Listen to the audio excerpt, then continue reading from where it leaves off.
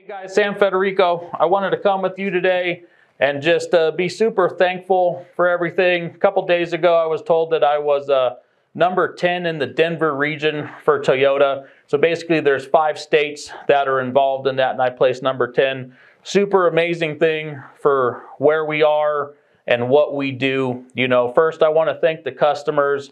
Without you guys, nothing else would be possible, basically.